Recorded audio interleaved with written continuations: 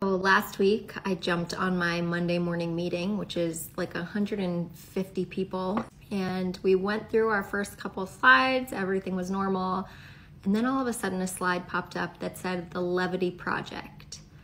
And I was like, Levity is the word that I used in the Today Show to describe my superpower. And then all of a sudden a picture of me comes up.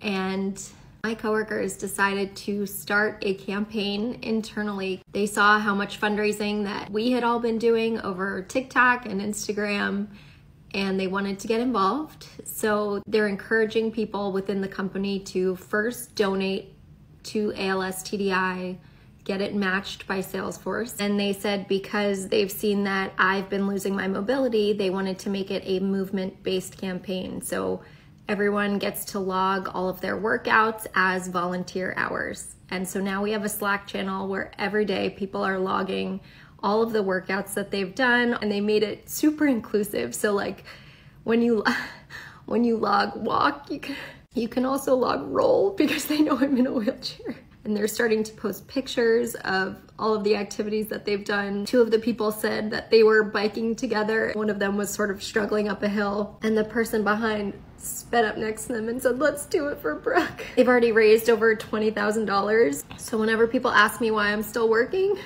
this is why.